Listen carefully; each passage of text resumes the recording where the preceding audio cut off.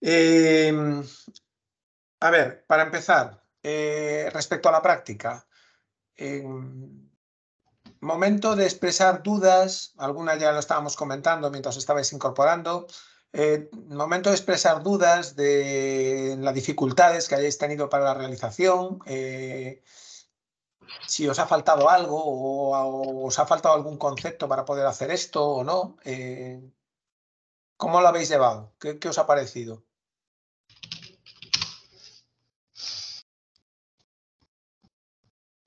¿Os ha valido de algo? ¿Os ha ordenado un poco?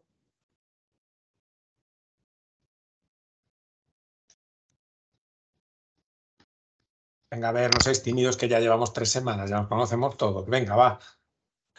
O no tenéis, o, ha sido todo perfecto. Si no empiezo yo, ¿eh? sabéis que yo no tengo problema. Eh, no sé si, no sé si se me oye, Ángel. Sí, sí. Ah, vale. Es que antes tenía ahí el micrófono.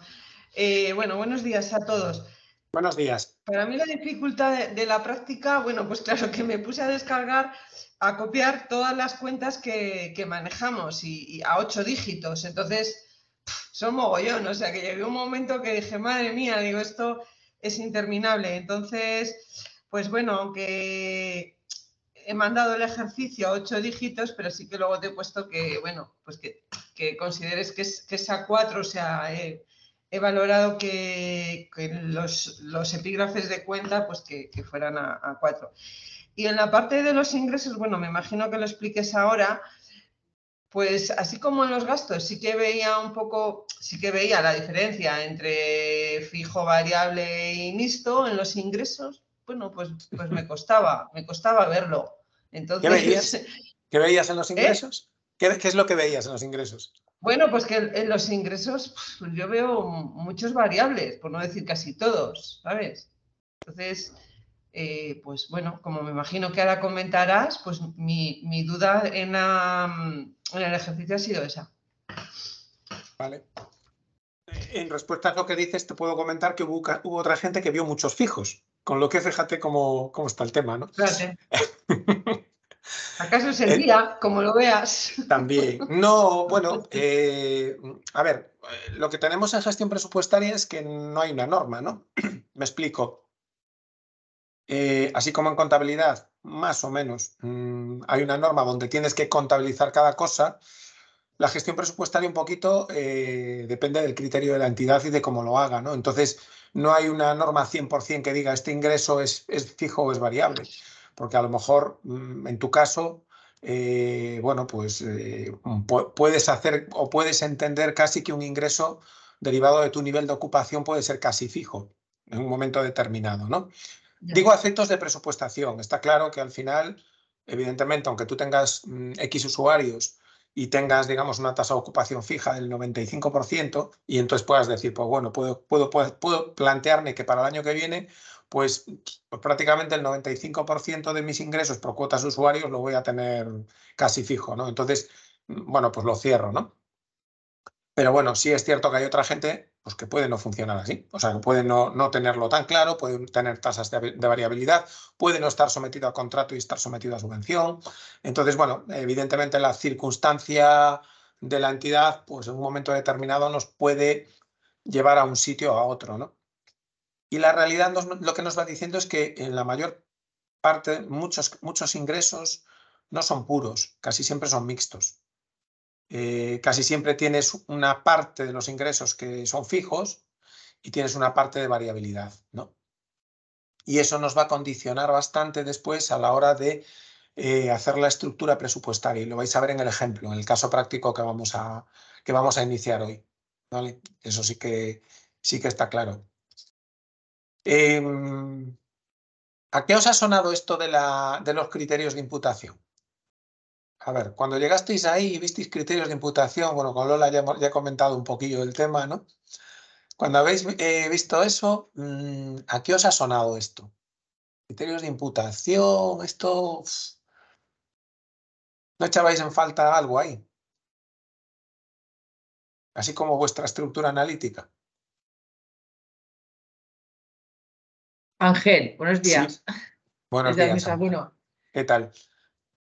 Eh, bien, bueno, nosotros lo, hemos hecho, bueno, eh, mis compañeros que, que llevan la contabilidad, que están aquí, y bueno, no sabemos, te lo enviamos ayer, creo que por email, de Transmisap, supongo que te llegó, ¿no? Sí, sí, sí, sí. Y la verdad que lo hicimos porque no, no sabemos muy bien si lo hemos hecho, bueno, bien o, o, no. En cuanto a lo que comentas de, input, de imputación, a mí a lo que me suena es a que, eh, pues como nosotros llevamos varios centros y servicios en la organización, pues, pues qué porcentaje de cada uno de estos gastos imputamos a cada centro o, o servicio. en principio, en esa columna encima no, pusimos nada porque, porque tenemos ahí es, muchas imputaciones. Cada gasto se imputa de una manera. o, no cada gasto, pero por grupos tenemos ahí mucha variedad. Mucha variedad. Y en cuanto a lo de variable y fijo, la verdad es que a mí yo tengo muchas, muchas dudas. No, no sé, pues es lo que tú dices, que son, eh, que, muchas veces son mixtos. Mm. La clasificación de los gastos veréis que nos va a influir muchísimo en la, en la forma de presupuestar. ¿vale? Estas son las típicas cosas que hacemos en cierta medida inconscientemente, o sea, las hacemos, mm, llegamos al gasto y digo, ah, ¿esto cómo lo presupuesto? Ah, pues lo presupuesto así. En el fondo lo que estoy, el criterio que estoy utilizando es, es un criterio de, de naturaleza y de variabilidad del gasto claramente, ¿no? Es decir, lo estoy utilizando, lo que pasa es que lo estoy utilizando subconscientemente, o sea, sin, sin aflorarlo, ¿no? Yo lo que quise que hicierais fuera un poco, era un poco que aflorarais todo esto, lo que decía Begoña, ¿no? Que de pronto se encuentra ahí con un montón de gastos y digo, jo, pero tengo un montón de ellos, ¿no? Sí, bueno, es que la realidad es así, tienes un montón y al final, pues, eh, va a haber algunos gastos que, que están muy... A ver, el criterio de naturaleza, de hecho, alguien me lo preguntaba por correo y se lo contesté, ¿vale? alguien me preguntaba qué era esto de la naturaleza del gasto, ¿no? De esto del, variable, el fijo. No sé si eres en Probosco, puede ser, los que me lo preguntasteis. Eh, bueno, yo sé que uno de vosotros me lo preguntó y os lo, contesté, ¿no? El tema de la naturaleza está vinculado directamente con el volumen de actividad, ¿no? Entonces, al final, eh, un gasto es fijo variable, ¿vale? En función de si está relacionado con el volumen de actividad o no, ¿vale? Y esto tiene una consecuencia normalmente muy importante, y es que aquellos gastos que son variables y que están relacionados con la actividad son más, o sea, no son más fáciles, pero son más susceptibles de poder delegar su presupuestación. ¿Vale? ¿Por qué? Bueno, porque eh, esa actividad se desarrollará en un centro de coste, ¿vale? Y ese centro de coste probablemente tenga un responsable y en ese proceso de implicar a los responsables, en ese proceso de agenda presupuestaria, Sí, eh, eh, es decir, es muy, mucho más fácil empezar una agenda presupuestaria cogiendo los gastos variables que son de un centro determinado y que eh, los responsables de centro, que son los que pueden tener mayor, digamos, capacidad de decisión o de gestión sobre ese tipo de gasto, cuando lo tienen, cuando no es un gasto que aún siendo variable esté centralizado, ¿vale? Pero cuando tienen esa, cuando son ellos los que deciden sobre, sobre los criterios de gasto, pues evidentemente es mucho más fácil empezar a hacer una eh, una mm, gestión presupuestaria descentralizada mm, apelando a ese tipo de gastos, ¿vale? Es decir, bueno, pues eh, puedo coger esos gastos que son variables y decirle, mira, en una primera instancia, ocúpate de esto y trasládame, eh, trasládame tu, criterio de, o sea, tus cuantías o los criterios de, presupuestación respecto a este tipo de gastos, ¿vale? Por eso era importante, por eso os quería, quería un poco que separásemos ahí lo que era eh, el gasto fijo y el gasto variable relacionado claramente con el volumen de actividad. ¿vale? Y en esto sí que es importante porque en los gastos fijos, en los gastos fijos sí que utilicemos, después veremos un poquito la teoría, ¿no? pero dedicaremos 20 minutos, media hora simplemente a aspectos teóricos de la, presupuestación, ¿vale? Pero fijaros que en los gastos eh, fijos sí que tiene eh, un poco más de peso la tendencia histórica, ¿vale? Y en los gastos variables sí que hay que ser mucho más proactivos. Sí que deberíamos de, em, en teoría, em, pararnos más en el gasto e intentar, en función de lo que queremos hacer o de nuestro volumen de actividad futuro, eh, poder eh, presupuestar el gasto más ad hoc. ¿Por qué? Porque no necesariamente actividad del pasado significa igual actividad del futuro. Entonces, y evidentemente esto, cuando estamos incorporando proyectos o actividades nuevas, pues evidentemente ya absolutamente distinto. ¿Vale? Entonces, eso era uno de los, de los, de los elementos. ¿vale? ¿Alguna, yo ahora, Sí, perdón. Perdona, o sea, en el ejercicio hemos puesto que tenemos varios fijos y variables, pero ahora yo mm. después de oírte que, y, de, y de centrarme, eh, me creo que no tenemos ningún gasto fijo. Mm, bueno, eh, a ver, yo os ponía, yo en ese correo que contestaba, después si queréis en el chat os, en el chat os cuelgo un poco esa contestación que hice de correo separando gasto fijo y mm. variable, os dejo esos conceptos ¿vale? Para que también os sirvan, porque este ejercicio que habéis hecho, a ver, es una práctica, pero este ejercicio es vivo, es decir, esto, os podéis quedar con esa Excel y dentro de una semanita, una vez hayamos, o sea, dentro de dos o tres sesiones que ya seréis no dominéis la gestión presupuestaria, podéis volver atrás y decir, bueno, y ahora que ya controlo, ya sé de esto, voy a revisar otra vez mi hoja de imputación de gastos, a ver si lo que puse realmente cuadra o no cuadra, ¿no? Entonces, bueno, os dejaré esos comentarios, ¿vale? Pero bueno, en principio, eh, lo, que os decía, esa era la, diferenciación por naturaleza y después estaba la otra parte. Bueno, voy a compartiros aquí la, un poco el, ejercicio para que, para un poco... Mm, vale. Vale. Y aquí, bueno, pues teníais, pues eso, lo que os decía, si, era el, gasto, si el gasto era directo, era, imputable o era mixto, ¿vale? Cuando me, cuando me, bueno, imputable, lo comentábamos al principio de la sesión de hoy, e imputable al final todo es imputable, porque o lo imputo directamente a un centro de coste o lo tengo que distribuir o tengo una mezcla de cosas, ¿vale? Entonces, al final eh, bueno, eh, de lo que se trataba era de, dentro de esa separación de gastos, ver si ese gasto que yo tengo, cuando lo tengo, se asigna directamente a un centro, ¿vale? O bien eh, no se asigna directamente y por tanto lo tengo que, separar. Amparo, decías que no hay gastos fijos. Yo os contestaba en esa historia. A ver, normalmente los, hay gastos fijos, sí. Los alquileres suelen ser gastos fijos si los, si los tuvierais, ¿vale? en un momento dado, eh, pues mm, un asesoramiento legal, digamos, con tarifa plana, es decir, con, una, con lo que se llama una derrama, eso suele ser un gasto fijo. ¿vale? Es decir, sí que puedes encontrar alguna, hay algunos gastos que, pueden ser fijos y hay algunos que, ya os decía, dependiendo de cada, de cada entidad, pueden ser fijos o pueden ser variables, ¿vale? o, los puedo llevar más a que me sean un fijo o a que me sean un variable. Y un ejemplo de esto puede ser, por ejemplo, el consumo de luz. Vale, está claro que el consumo de luz es un gasto variable porque va a depender fundamentalmente del volumen de consumo, pero sí que en un momento determinado y a efectos de presupuestación, eh, bueno, pues si yo no tengo una gran variabilidad entre años, no tengo una gran variabilidad de consumo eh, y evidentemente teniendo en cuenta los precios, ¿vale?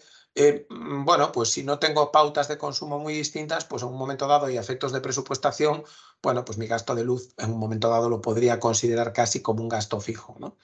Entonces, bueno, eh, ahí lo que hay que encontrar es un poquito aquello que nos exige, digamos, prestar cierta, atención por el volumen de actividad, porque esa es la clave, ¿vale? Es decir, la variabilidad está asociada a la actividad. ¿vale?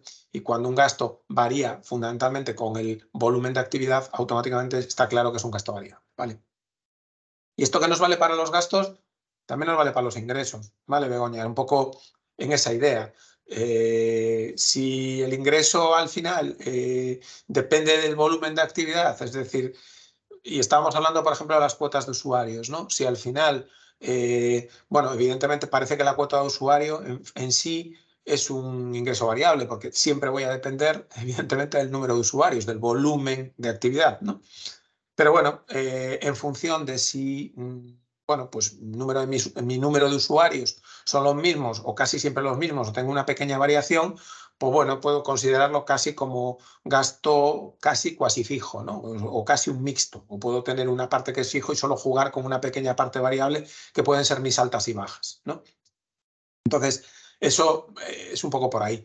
Eh, claro, si nos vamos a las subvenciones, pues yo ya me he encontrado de todo. ¿Vale? Hay quien dice, no, es que a mí la subvención del ayuntamiento me la dan todos los años y siempre me da la misma cuantía, ¿vale? Y entonces dice, para mí ya, eso para mí es un ingreso fijo. Bueno, cuidado. Mm, sí, vale. Mm, si tú entiendes desde tu punto de vista de gestión presupuestaria que eso es inamovible, inamovible y va a ser así, pues me parece perfecto, considerarlo gasto fijo y ya está. Vale, eh, pero bueno, normalmente lo que está pasando con las subvenciones es que en buena lógica sí que tenemos cierta variabilidad a la hora de poder saber eh, lo, que, lo que solicitamos, lo que nos van a conceder o, cómo puede ser. ¿no? Entonces, bueno, pues eso es un poco, un poco el tema. ¿no? Los criterios de imputación pues están directamente vinculados, digo porque había, creo que alguno de vosotros no tenía, no, no hacía presupuesto analítico, ¿vale? Los criterios de imputación están vinculados fundamentalmente con nuestra estructura analítica de costes. ¿vale? Em, para hacer el, ejercicio que vamos a hacer y donde vamos a trabajar, necesariamente vamos a tener que tener claro cuál es, cuál es nuestra estructura analítica de costes. ¿vale? Y cuando hablo de estructura analítica, entiendo que todos sabéis de lo que estoy hablando. ¿No? ¿Alguien no entiende qué es esto de la estructura analítica de costes? Vale, pues entiendo que todos lo, todos lo entendéis. Entonces, desde este punto de vista, tenemos que tener muy claro, primero, lo mismo que revisamos nuestro plan contable y bueno, os comentaré tres, dos cositas respecto al plan contable, ¿vale? Respecto eh, a la estructura analítica también tenemos que revisarla y no es objeto de este, de este curso, pero de estructura analítica podríamos estar hablando, de contabilidad analítica podríamos estar hablando dos horas tranquilamente, ¿vale? No es el objeto, pero tened en cuenta que una estructura analítica siempre debe responder a la información que necesitamos, ¿vale? ¿A qué necesitamos extraer de información? Y si no responde a eso, pues tenemos un problema. Tenemos que revisarla, ¿vale? Es decir, necesitamos, o sea, los, centros de coste tienen que ser centros de decisión, tienen que ser centros donde se puedan tomar eh, decisiones de cambio. Si yo veo que estoy haciendo una contabilidad analítica a un árbol de cuarto nivel, sacando una información y unos datos de la leche, pero después resulta que esa información no la utilizo, no me vale para nada, igual me, lo tengo que pensar. ¿vale? Porque aquí el coste del dato es muy importante, ¿vale? Es decir, eh, tener que desglosar, desmenuzar, eh, contabilizar eh, de una forma mm, a un detalle muy grande es costoso. Entonces, como no es obligatorio, porque no estamos en una financiera, estamos en una, en una contabilidad analítica, contabilicemos aquello y desglosemos y lleguemos a aquella información que nos sea útil para la toma de decisiones. Y si no nos es útil, pues entonces tenemos un problema y entonces es que nuestro árbol analítico hay que sentarse y pensar. ¿Vale? Entonces, partiendo de aquí, pues cuando os hablaba de, criterios de imputación, sobre todo me refería a, los, aquellos gastos que por su naturaleza eh, caen o, o, tengo que llevarlos a más de un centro de coste. ¿vale? Me refería a eso. Entonces, Claro, cuando tengo que distribuir un gasto en distintos centros de coste, pues ahí tengo que tener criterios. Y tengo que tener criterios que mm, hay un elemento fundamental. Esos criterios tienen que ser sostenibles en el tiempo. Eh, no puedo estar utilizando un criterio de coste este año, de, distribución este año y el año que viene lo cambie. ¿Vale? ¿Por qué? Porque al final eh, la confianza que voy a dar en mi sistema de información y gestión pues es muy baja. Es decir, yo que soy el receptor de esa distribución, pues un año me va a tocar 20 y otro año me va a tocar 60 con mi misma pauta de consumo. Y entonces digo yo, bueno, pues esto, esto es el azar, ¿no? Entonces, sí que es importante pararnos en estos criterios, consensuar los cambios de criterios y que esos cambios de criterios los sostengamos en el tiempo, porque eso nos permite también la comparabilidad de la información. ¿vale? Así puedo saber entre años cómo van las cosas y cómo van los distintos centros de coste. Si cambio los criterios, evidentemente no, ¿vale? Entonces, desde este punto de vista, respecto a esta parte de criterios de imputación, eh, eso, criterios sencillos, ¿vale? Simples, que los entienda todo el mundo, ¿vale? Porque al final, eh, bueno, eh, es necesario que la gente tenga un eh, marco que sea fácil y confiable y sepa de dónde vienen las cosas. Entonces tampoco os liéis la manta con criterios tremendamente complejos, ¿vale? Un criterio fácil, trasladable y que sea sostenible en el tiempo, ¿vale?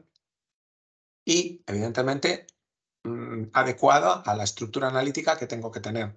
Si yo después de un año cojo mis cuentas, mi estructura analítica y veo que la información que me dan no le saco utilidad, mm, a lo mejor me lo tengo que pensar, ¿vale?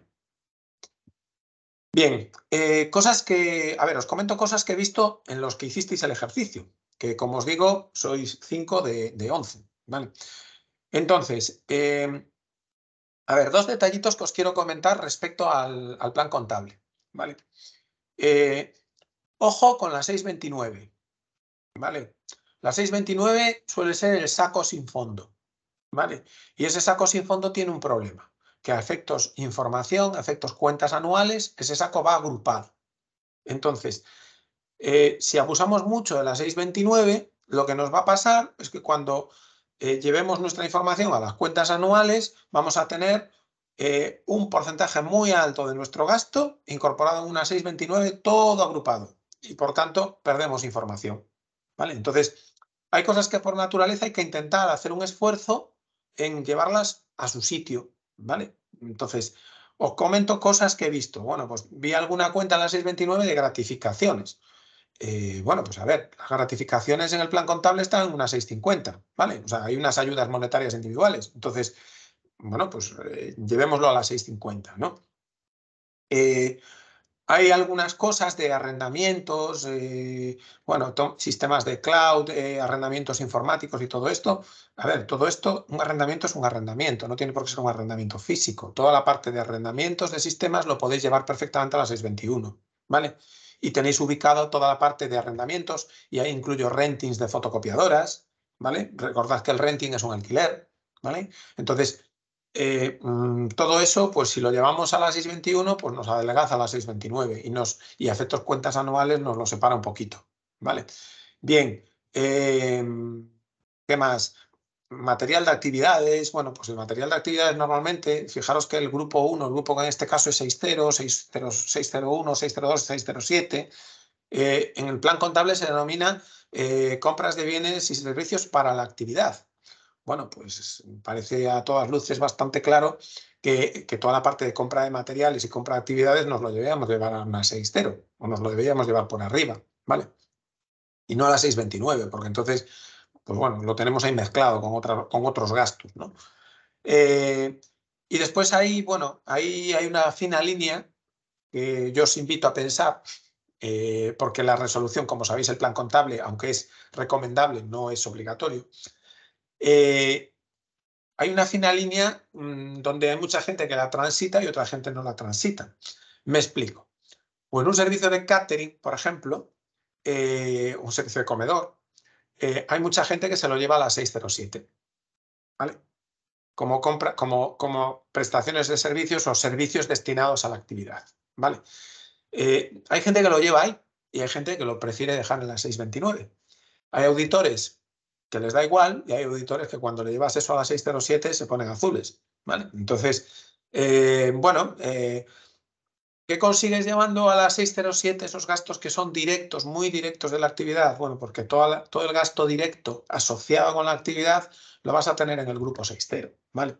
¿Y qué te van a quedar a la 629 y por ahí? Pues te van a quedar, pues, básicamente gastos de estructura, gastos generales, bueno, gastos que no son directamente asociados a la, a la realización de la actividad.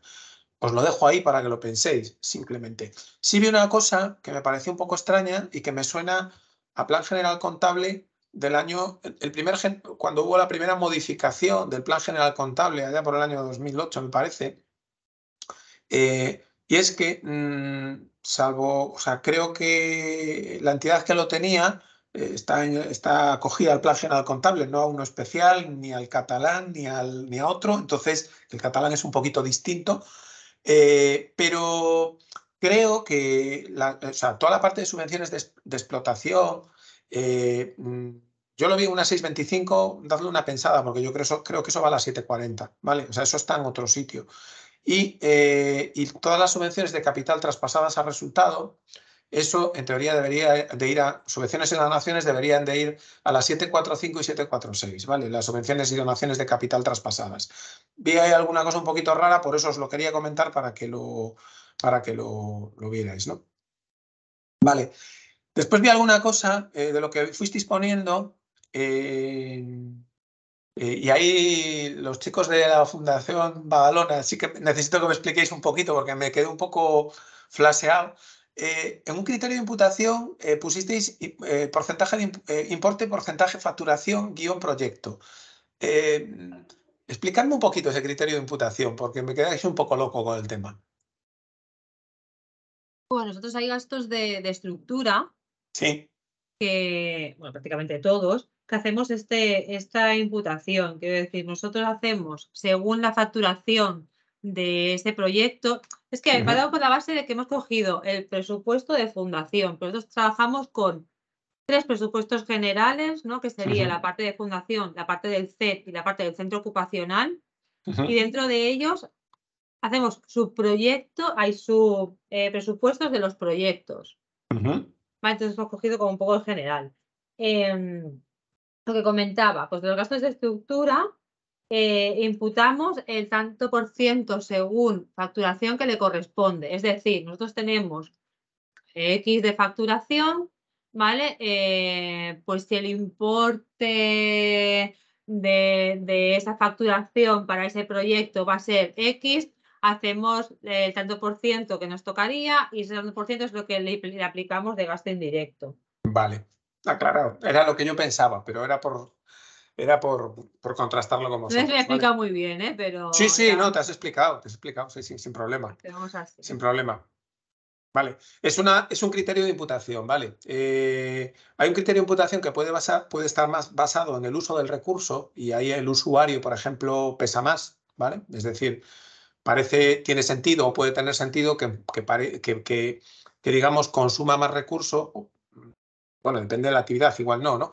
Pero que consuma más recurso aquella actividad que tiene más usuarios, ¿no? Entonces, a efectos de distribuir gastos comunes, el criterio de usuarios es un criterio bastante utilizado, ¿vale? Pero bueno, hay ese criterio de ingresos, ¿no? Es decir, bueno, eh, que que sean aquellas actividades eh, que, entre comillas, tienen más ingresos las que puedan contribuir más al coste de estructura. Claro, así lo que hacemos es castigar al cliente que nos da más beneficio, en realidad. Sí, sí, es una forma de equilibrar los, el resultado, ¿no? Es decir, le voy a imputar menos estructura a aquellos proyectos que en teoría generan menos ingreso, ¿no? Entonces es en cierta medida un poco un criterio de solidaridad, ¿no? Es decir, quien genera más que, que, digamos, soporte más, ¿no?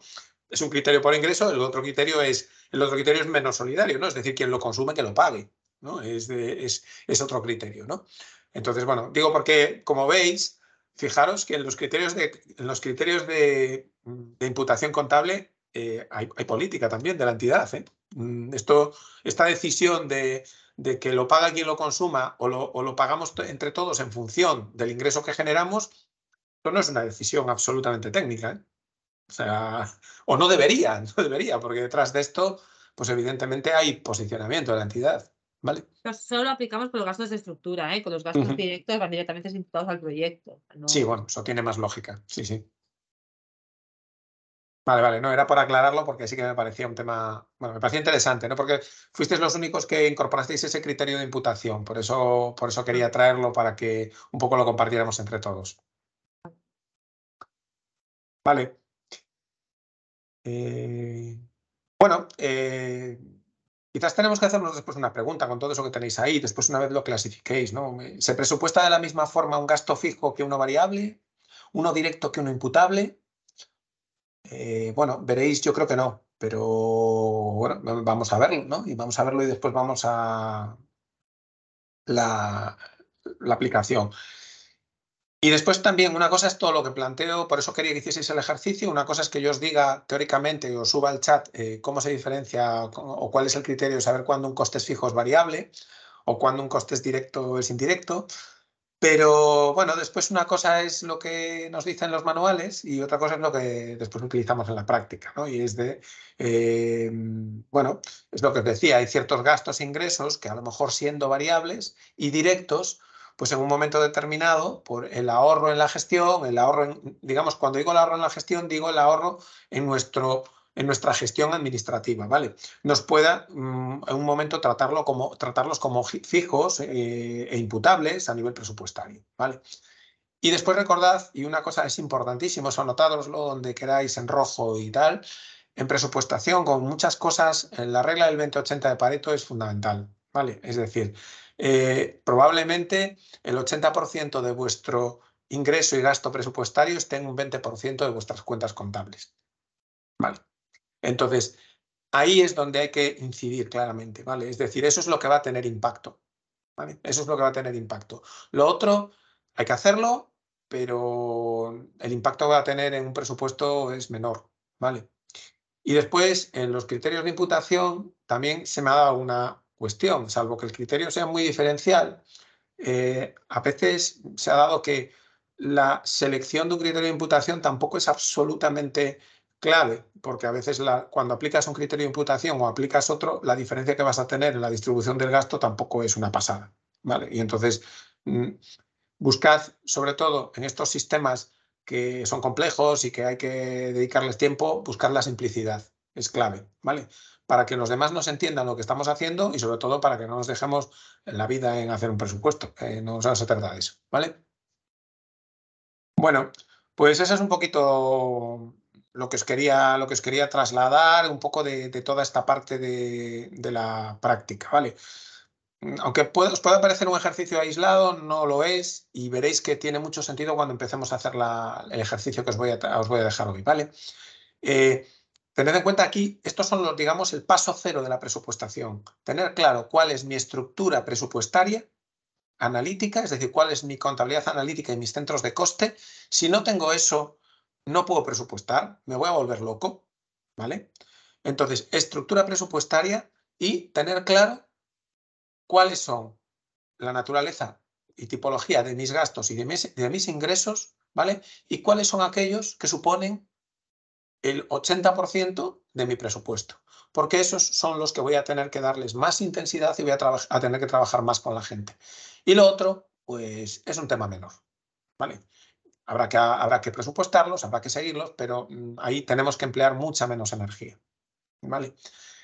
Y después, una cosa muy importante, también que os quiero trasladar y que últimamente está empezando a ser importante, y es todo el tema de los condicionantes financieros externos o de la financiación externa. ¿vale? Os lo digo porque mm, sabéis que los nuevos criterios de, o las nuevas fuentes de financiación de proyectos, de subvenciones, eh, entre otras cosas, nos piden eh, contabilidad eh, diferenciada. ¿vale? Y esta contabilidad diferenciada, pues la podemos llevar de dos formas, fundamentalmente. ¿vale? La podemos llevar desde el, desde el ámbito analítico, ¿vale? O la podemos llevar desde el ámbito financiero. Es decir, podemos diferenciar cuentas contables, puedo crearme, si tengo, imaginaros que me dan una subvención salarial o sea, para contratación de dos, de dos personas, ¿vale? Y resulta que me piden una contabilidad diferenciada de esa subvención, pues tengo dos opciones. O bien en la 6 me genero una nueva 640 y entonces pongo sueldos y salarios, eh, expediente o subvención 774523 y hago lo mismo con la seguridad social y entonces esa es una forma de diferenciar ya en contabilidad, pero esa diferenciación si no quiero eh, eh, digamos, empezar a generar planes contables kilométricos, porque evidentemente lo que nos va a pasar es que esas dos cuentas nos valen para esa subvención, pero una vez acaba la subvención ya no nos valen, ¿vale? Si no queremos empezar a generar planes contables kilométricos, otra opción es también llevarlo al árbol analítico, ¿vale? O sea, incorporar eso en el árbol analítico. Esta es una decisión que en un momento dado es importante. Si, como os pasa, tenéis que en un momento dado os llega al auditorio y os pide la contabilidad separada de esa subvención. Tenéis que de alguna forma poder eh, diferenciarle. Por tanto, elementos de gestión, elementos de información para la toma de decisiones, elementos evidentemente externos que en un momento dado nos pueden condicionar cómo, eh, cómo, elaboramos nuestro árbol analítico y cómo distribuimos. ¿vale? Entonces, esto es, es importante a la hora de, de, ese paso cero que tenemos que hacer para empezar a presupuestar. ¿vale? Para finalizar, y lo decía, lo decía, decían los chicos de, de, Badalona, eh, el árbol analítico, cuidado, porque al final podemos tener un árbol analítico que pueda ser de una rama, directamente podemos tener un árbol analítico que lo vayamos desglosando y podamos llegar a, tener cuatro o cinco ramas. También depende, evidentemente, de la herramienta informática eh, que tengáis y lo que os permita hacer. ¿vale?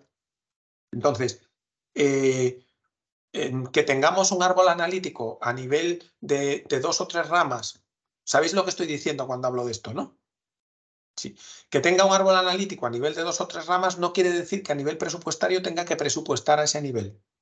¿Me explico? Es decir, yo puedo tener un árbol analítico donde uno de mis centros de coste pues es el centro ocupacional, por ejemplo, ¿vale? Y dentro del centro ocupacional puedo tener una división donde tengo pues el centro ocupacional de Talavera, el centro ocupacional de Toledo y el o, la, o centro ocupacional, la actividad de lavandería, la actividad de jardinería, la actividad de, de cerámica, por ejemplo, ¿vale? Es decir, como veis, eso es un árbol analítico en dos ramas, ¿vale? Quiere decir que necesariamente tengo que presupuestar a nivel de la segunda rama, es decir, tengo que presupuestar el centro ocupacional eh, mm, eh, mm, en este caso de jardinería o de lavandería o de tal. No, no necesariamente. A lo mejor a nivel presupuestario tengo que presupuestar en la rama de arriba y simplemente el nivel de información que manejo o que quiero manejar es el del centro ocupacional. ¿vale? Y después en los gastos o en el detalle del presupuesto sí que puedo incorporar esa separación de segunda rama. Eso lo veréis porque probablemente lo hagamos en... O sea, va a salir en el ejercicio que vamos a, hacer, ¿vale? Bien, de esto no tengo muchas más cosas que contaros. No sé si hay algo que, para cerrar este bloque de revisión de la práctica anterior, algo que queráis comentar, algo que os haya quedado. Eh, ¿No? Bueno, pues cerramos esto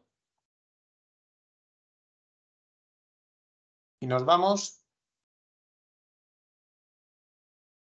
a los 15-20 minutos que vamos a, a ver hoy de, teoría. ¿Vale? Son, ya os, dije, yo os dije la semana pasada que a partir de ahora eh, poco vamos a ver de teoría. Hoy son eso, seis transparencias, cinco o seis transparencias que probablemente, eh, bueno, que tenéis colgadas, esta documentación ya la tenéis colgada arriba en la, en la web, y que simplemente mmm, nos den cuatro criterios de cómo tenemos que hacer, ¿vale? Vale, ¿qué tenemos que hacer? Eh, y esto es bastante parecido a los ingresos y los gastos, salvo evidentemente cuando empezamos a considerar elementos especiales dentro de cada bloque, ¿no? Eh, ¿Cuáles son los pasos que tenemos que hacer para eh, determinar cómo presupuestamos los ingresos? Bueno, pues en primer lugar tenemos que detectar y clasificar nuestros ingresos, ¿vale? Es decir, tenemos que ir a nuestra contabilidad y decir, bueno, vamos a ver, ¿de dónde me vienen a mí los ingresos de la entidad? O de este centro de coste, o del otro centro de coste, o de, bueno, pues de, lo que tenga. Pero fundamentalmente tengo que saber de, de, dónde me vienen los ingresos. ¿Por qué? Porque donde me venga tendré que ver qué es lo que puedo presupuestar y qué es lo que no puedo presupuestar. ¿Vale? Me decís, ¿se puede presupuestar todo? Hombre, supongo que sí, pero normalmente pues, los ingresos extraordinarios no se presupuestan porque no los tienes previstos, ¿vale? O hay ciertas cosas que por su volumen a veces tampoco se presupuestan, por ser muy pequeños. Por ejemplo, los ingresos financieros en algún caso, ¿vale? A partir de ahí, bueno, pues tengo que determinar cuáles son mis departamentos o unidades de presupuestación, ¿vale? Es decir, tengo que ver en qué espacios hay que presupuestar, ¿vale? Puede ser en uno solo o puede ser en varios. Y ahí entra todo el tema de la agenda presupuestaria. Si hago un presupuesto centralizado y entonces es un único departamento el que eh, trabaja la presupuestación, o si tengo un presupuesto descentralizado y entonces hay distintos departamentos, distintos centros de coste que elaboran sus presupuestos. ¿vale? Y por tanto hay que después hacer un proceso de integración. Bien. Eh, después eh, os comentaré pues los criterios o qué criterios se suelen utilizar para presupuestar los ingresos, ¿vale?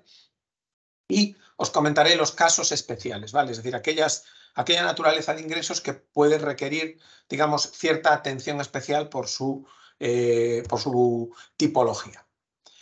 Entonces, la primera parte, bueno, pues como veis, ahí tenéis a tres dígitos eh, en el plan general contable a nivel estatal, pues tenéis eh, cómo se clasifica, o sea, cuál es el plan contable eh, a nivel de cuentas de tres dígitos. Como os decía, el plan contable es sugerido, ¿vale? Es decir, todo el mundo lo utiliza, pero si hay alguna cuenta que no me mola o que la quiero poner en otro sitio, lo puedo, la puedo poner, ¿vale? No es, necesariamente no tengo que utilizar este plan contable. Sí es obligatorio la estructura de eh, los estados financieros, ¿vale? Es decir, sí que tengo que ubicar en cada sitio eh, pues los ingresos de la actividad, los ingresos de la actividad mercantil o los, o los gastos de, explota de los otros gastos, ¿vale?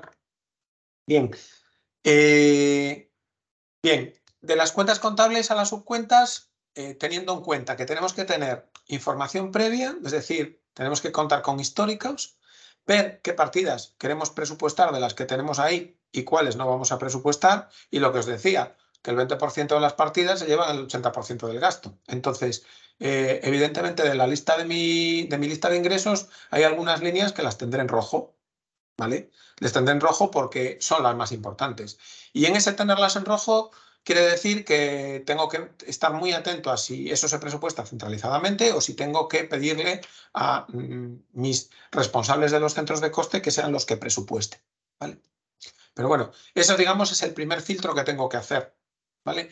Eh, ver de estas cuentas cuáles son las que utilizan, cuáles son las más importantes y a partir de ahí partir de la información histórica que tengo. Lo que no quiere decir que eh, simplemente es un dato que voy a, del que voy a, partir, pero no necesariamente tiene que ser clave a la hora de presupuestar. ¿Vale? Y, ojo, importante, especial atención a determinados tipos de ingresos por su forma de presupuestar. Pues los proyectos, las subvenciones, fundamentalmente, bueno, pues eh, dado, dada su naturaleza sí que tendríamos que hacerlo de forma, o sea, hay que prestar atención, hay que prestarles un poquito de atención. Esto en la parte de los ingresos, veréis que en los gastos hay otros elementos donde es importante prestar atención. Bien. Siguiente momento, pues determinación de los departamentos eh, y unidades de presupuestación. ¿vale? Y aquí es clave lo que os comentaba un poquito antes, ¿no? definir las unidades de presupuestación. Y dentro de definir las unidades de presupuestación, que son aquellos espacios o centros donde va a haber actividad presupuestaria, ¿vale? hay que tener en cuenta dos cosas importantes. Primero, determinar el tamaño y el alcance de cada unidad. ¿Vale? Lo que os decía antes, yo puedo tener un árbol analítico desglosado hasta un cuarto nivel, pero no necesariamente implica que tengo que presupuestar a ese cuarto nivel. Igual tengo que presupuestar a nivel 2 o a nivel 3. Cuanto más bajo presupueste, y en Badalona pues lo habéis comentado, cuanto más eh, mm, Cuanto mayor volumen de actividad tenga, más diversidad de centros tenga y más complejidad tenga, lo que va a hacer es que el presupuesto global va a ser la suma de más presupuestos parciales. Y entonces tendré que ir bajando la presupuestación a otros niveles y con otros responsables. Eso nos va eh, a requerir un ejercicio mucho más importante de integración. ¿vale? Ese proceso que después mm, llevamos, que es el de eh, tener los presupuestos parciales, negociar e integrar en el presupuesto global, pues evidentemente cuanto más desglose, cuanto más separe, más esfuerzo voy a tener que hacer después para integrar y tener un único presupuesto. ¿vale? Y a medida que voy desglosando, pues me empiezan a aparecer las actividades comunes y me empiezan a aparecer los gastos comunes. ¿vale? Los gastos comunes que pueden ser comunes a toda la organización, es decir, podemos estar hablando de un gasto de estructura, por ejemplo, pues lo que me cobra la auditoría. ¿Vale? La auditoría de la entidad es uno de los típicos gastos de estructura que en teoría deberíamos de tener que repartirlo entre todas eh, las actividades. Pero va a haber otros, a medida que vayamos desglosando, van a aparecer gastos comunes que no necesariamente son de todos los centros de coste. ¿Vale? Pues, por ejemplo, el catering. A lo mejor hay un servicio de catering o un servicio de, comedor, eh, mm, de, restauración, que es común a dos centros de coste, a dos, a dos espacios. Y por tanto, es un gasto que vamos a tener que repartir, pero no para toda la organización, sino para esos centros de coste que, digamos, lo utilizan o, lo que, lo, o que lo consumen. ¿Vale? Cuando llegamos a esa parte, Importante, pues los criterios de imputación de los gastos comunes, de los ingresos comunes y de los gastos comunes, o sea, los criterios de imputación. En el caso de una, en el caso de los ingresos, pues imaginaros que tengo una subvención que está afectando a, dos centros de coste. Bueno, pues si tengo una subvención que está afectando a dos centros de coste, pues evidentemente mm, va a haber que distribuir y ese criterio de distribución puede ser un criterio generalista, ¿vale? El número de usuarios que, están afectados por ese proyecto, o puede ser un criterio eh, especial y directo, es decir, bueno, pues en ese proyecto que hemos presentado, pues el 60% de las actividades las va a realizar este centro de coste y el 40% las va a realizar este otro centro. Bueno, pues separo por un criterio específico ad hoc, ¿vale? Hablaba antes de los ingresos comunes a la organización, pues eh, bueno, pues en el caso de las fundaciones, pues imagino que los donativos genéricos, ¿no? El donativo genérico, pues, bueno, no sé, eh, hay fundaciones que lo que hacen es imputarlo, ¿vale? Y hay fundaciones que no lo imputan, ¿vale? Porque hay fundaciones que el gasto de estructura lo contemplan como un centro de coste, ¿vale? Y entonces lo que plantean es que eh, todos, los, todos los centros de actividad generan su propio resultado y contribuyen a la estructura. ¿vale? Hay otras entidades que no lo hacen así, que hacen la distribución en origen y entonces dicen, no, yo voy a coger esta, este centro de coste, que es la estructura de la entidad, y en función de unos determinados criterios, número de usuarios, ingresos de los proyectos o lo que sea, cojo y lo distribuyo directamente y, y les le incorporo al ingreso gasto de la entidad el ingreso gasto de la estructura que le corresponde. ¿Vale? Estas son un poco, bueno, pues las, los distintos planteamientos, sobre todo que hay con respecto al gasto de estructura. ¿Vale? Evidentemente podéis interrumpirme cuando queráis y podéis preguntar y lo que sea. ¿eh? O sea, me interesa también que un poco lo que os estoy trasladando lo incorporéis en lo que, lo que hacéis y un poco que si os surge cualquier duda, cuestión o, tema, que lo vayáis, lo, saquéis. ¿eh? Esto es, intento que lo llevemos a lo más práctico posible. Vale, después, si después tengo que implantar una agenda presupuestaria, o debería implantar esa agenda presupuestaria de la que en su momento os dejé, os dejé pues, un pequeño modelillo para poder trabajar. Y esa agenda presupuestaria va a depender mucho evidentemente de la cantidad de, departamentos o de, proyectos o de personas que vayan a, participar. ¿vale? Entonces, eh, si al final me he decidido a que no solo sea el departamento de administración quien haga el presupuesto, preguntándole a los demás responsables cuando les tenga que preguntar porque no tengo información, pero aún así centralizo, pues esa agenda presupuestaria será mucho más fácil de manejar, porque básicamente será un planner donde yo me calendarizaré los tiempos o los hitos a donde tengo que llegar para mm, cerrar, digamos, este proceso de gestión presupuestaria. ¿Vale? Si evidentemente incorpora mucha más gente y tengo que coordinar e integrar, pues evidentemente voy a tener que eh, planificar todo ese proceso.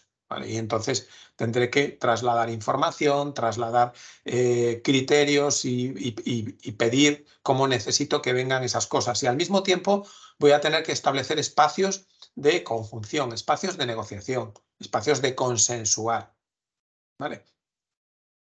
Eh, en cualquier caso, ¿qué deberíamos de tener en nuestra agenda? Pues trasladar la información que necesitamos eh, tener una agenda de ejecución y tener claro quiénes son los responsables de cada tarea en la agenda. ¿vale? Eh, estos son los elementos, no los elementos eh, que creemos que son, que, creo que son importantes a la hora de presupuestar. ¿Y qué criterios, o sea, qué criterios de previsión podemos tener para los ingresos? Bueno, pues yo os he incorporado estas cosas que, que, son, bueno, pues de sentido común, ¿vale? Y que normalmente seguro que utilizáis. Es decir, eh, lo más sencillo o lo más fácil y lo que me puede valer para aquellos ingresos que son fijos, bueno, pues eh, mm, pasarnos en, lo histórico. Si yo tengo ingreso fijo que mantengo a lo largo del tiempo, bueno, pues lo que, hago, lo que puedo hacer es proyectarlo. Puedo proyectar ese ingreso. ¿vale? De estos ingresos, por desgracia, suele haber pocos. ¿vale? Salvo, ya os digo, que algún ingreso que podemos en un momento considerar variable, derivado a que, por ejemplo, imaginaros, tengo un contrato con la administración de plazas y ese contrato es un contrato plurianual, por tanto sé que el año que viene lo voy a tener y puedo tener más o menos o sé cuál es mi nivel de ocupación, pues en principio, bueno, pues podría en cierta medida tener casi considerar ese ingreso variable como fijo y por tanto jugar con la, variabilidad respecto a mi ocupación del año anterior, ¿vale? Eh, si no me vale simplemente la historia, la parte histórica, pues entonces me tendría que ir a suposiciones y proyecciones de futuro. Entonces aquí me tengo que preguntar pues estas cosas, ¿no? ¿Qué elementos cambian para el año que viene dentro de lo que estamos haciendo? ¿Qué va a pasar? tengo una actividad nueva, eh, dentro de mi actividad voy a abrir una nueva línea o tengo una nueva línea de financiación que he conseguido, bueno, pues me tengo que plantear eh, qué es lo que va a pasar o qué efectos tiene, o sea, qué elementos cambian para el año que viene y qué vamos a hacer nosotros también. Y después, ojo, esto es muy importante, cuando hagáis esto en el lado del ingreso, tened siempre el equilibrio en el lado del gasto, ¿vale? Es decir, si yo voy a abrir una nueva línea o voy a tener una nueva línea de servicio o voy a modificar la línea de servicio que tengo, tengo una nueva fuente de financiación que me obliga a otros requerimientos distintos, cuando lo estoy trabajando en el lado del ingreso, tengo que tener al lado la consecuencia que esto tiene en el lado del gasto. ¿Vale? Porque a ver si va a ser que nos metemos el ingreso y después nos olvidamos de meter el gasto. ¿Vale? que eso muchas veces pasa. ¿Vale? Eh, entonces, Cuidado, eh, cuidado con esto. Y estoy hablando cuando tenemos un proyecto nuevo vinculado a una financiación para un centro de coste, ¿vale? Y ese proyecto nuevo, que es una, una actividad nueva, una, un programa nuevo, pues va a tener su ingreso y su gasto asociado y solo es para ese año y no es para otro año. Cuidado con estas cosas, porque muchas de los errores presupuestarios vienen precisamente derivados de esta situación, de que no hemos tenido en cuenta eh, o hemos tenido en cuenta el ingreso, o al contrario, hemos tenido en cuenta el gasto, pero no hemos tenido en cuenta el ingreso. ¿vale? Entonces, cuidado con estas cosas, con las nuevas actividades, ¿vale? Y atención especial a esas nuevas actividades o a lo que vamos a hacer distinto. ¿Vale? Cuando estoy hablando de hacer distinto, no solo me refiero a nuevas actividades, también me refiero a cambios, por ejemplo, pautas en los criterios de gasto. Imaginaros, pues, y esto parece sentido común, pero a veces os puedo asegurar que, no está obvio. Imaginaros, pues tenía una caldera y de pronto instalé, aerotermia. Bueno, pues evidentemente va a cambiar mi estructura de costes. Voy a tener que, evidentemente, eliminar mi consumo de, carburante, de fuel o de lo que utilice o de propano y evidentemente va a cambiar mi consumo de electricidad. Entonces, eh, bueno, en estos momentos, que son momentos de cambios y cambios estructurales, ojo con el cambio de esas estructuras de ingresos o esas estructuras de gastos. ¿vale?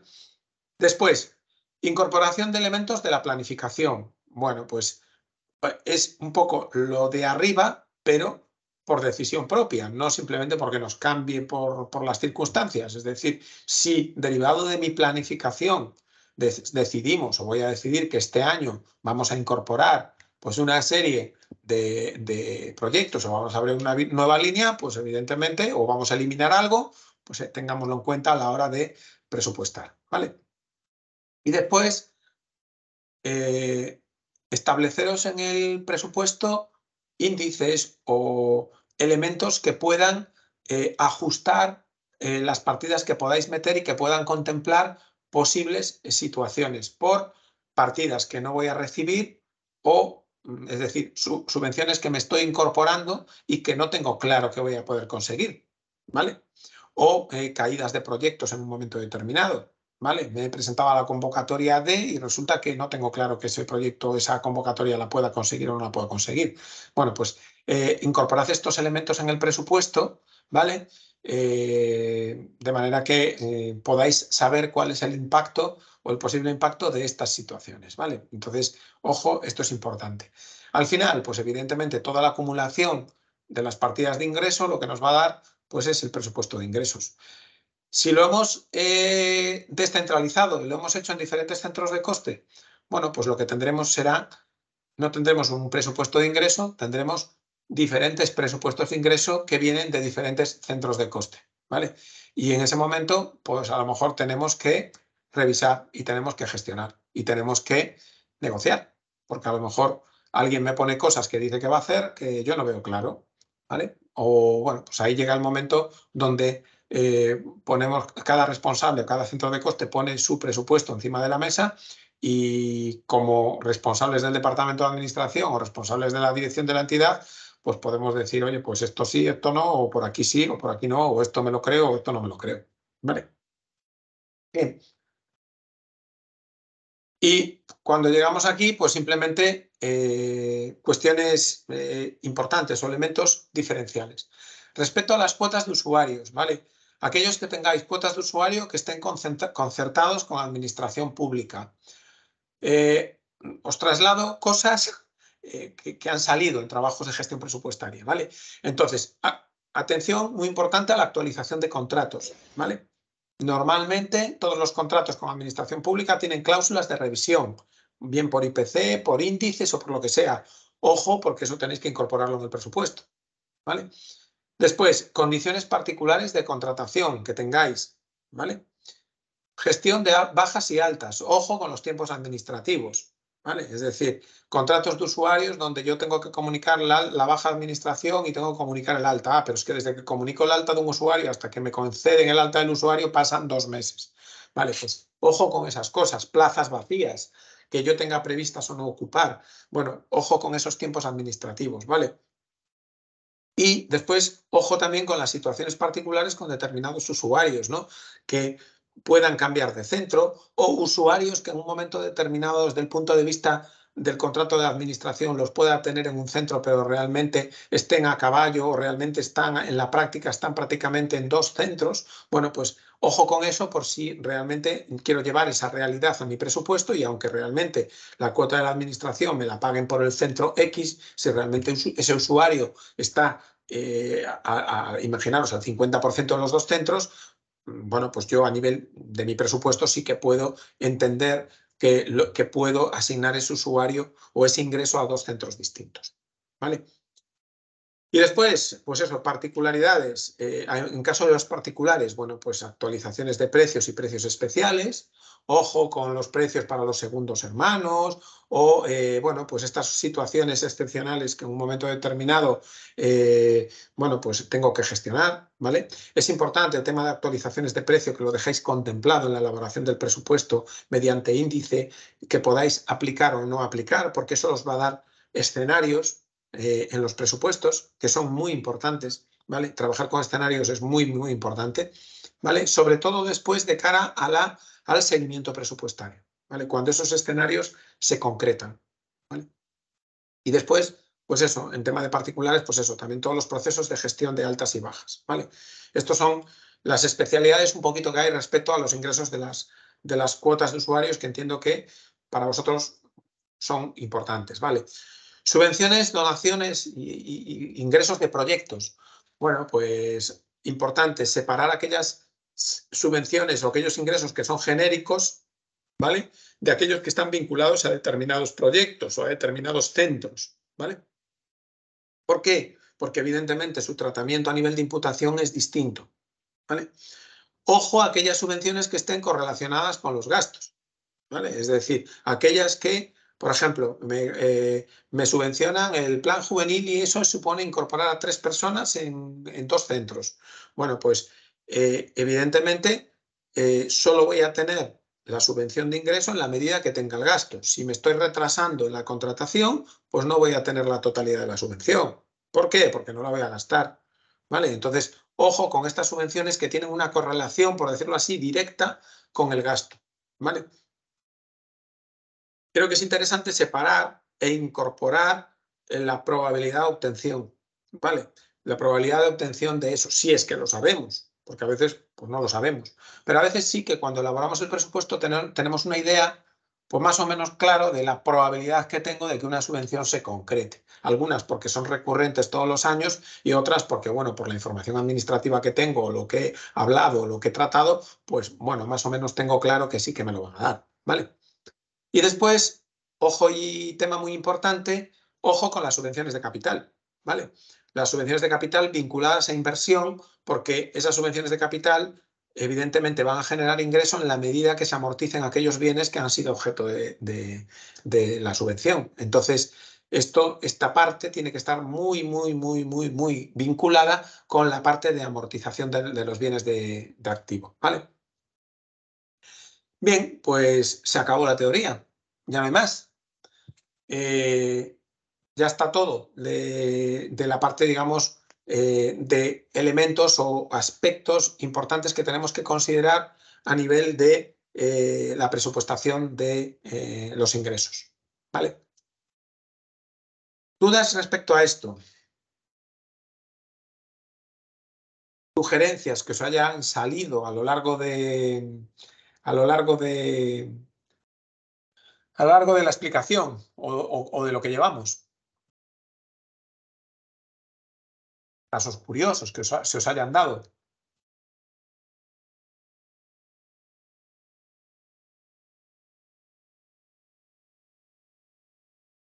Lo hacéis todo así, perfecto, está todo bien.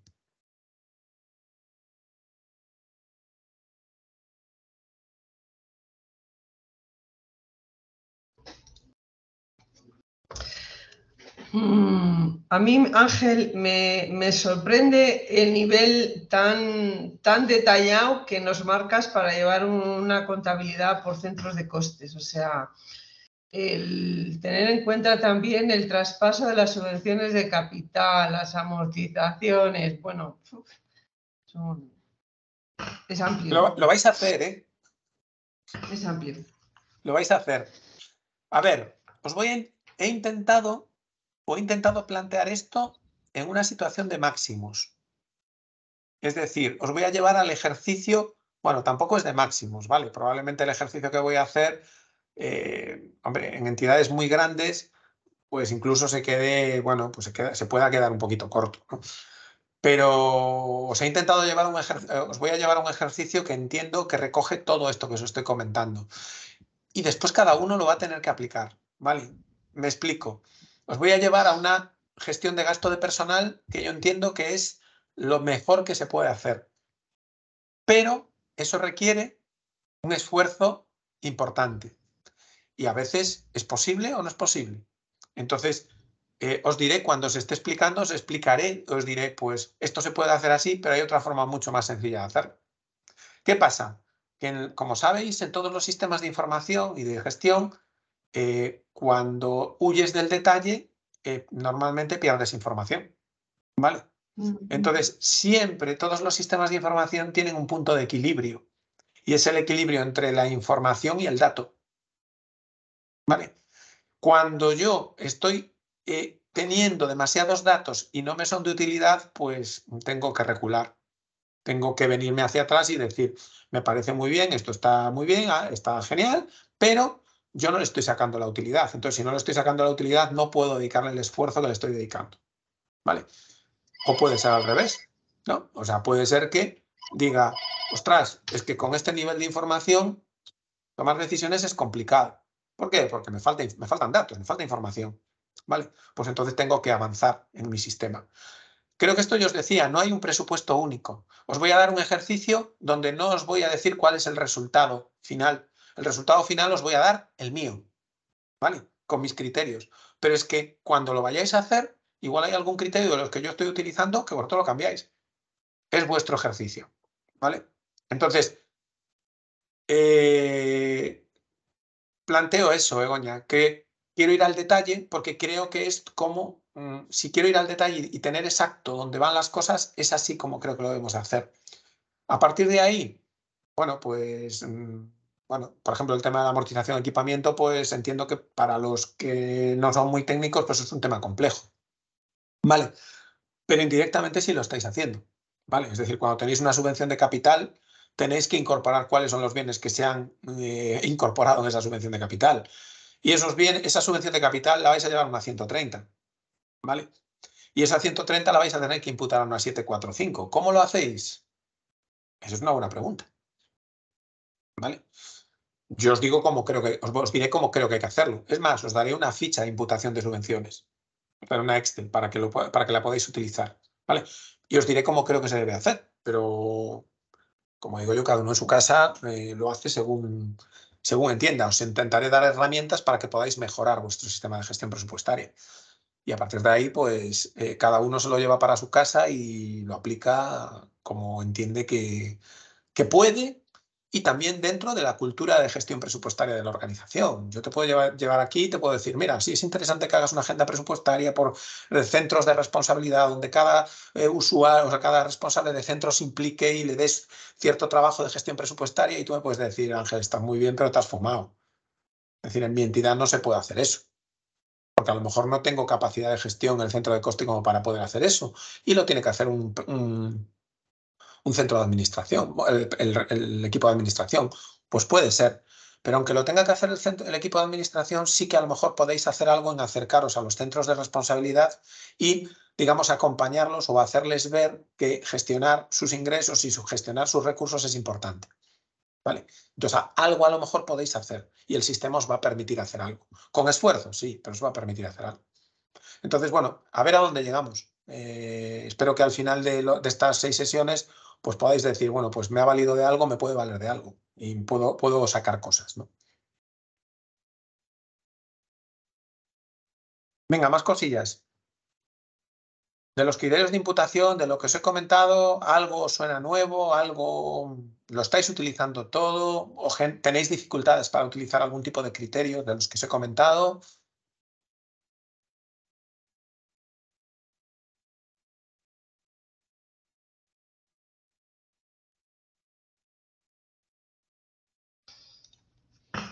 Mira, a mí me resulta difícil imputar las cuentas, por ejemplo, de comunicaciones, comunicaciones telefónicas. A mí el proveedor me dice, mira, eh, contratamos un, por llamarlo, un PA que, agrupe la cantidad de teléfonos que tenemos en la organización. Entonces, claro, ¿cómo imputo yo eso a cada centro? ¿Qué parte le corresponde? Por ejemplo, ah. con furgonetas, con el combustible, pues me pasa lo mismo, me pasa lo mismo, ¿sabes? O sea que eh, creo que hay determinados gastos que es muy, muy complicado aplicar un criterio. Vale, sí, cierto.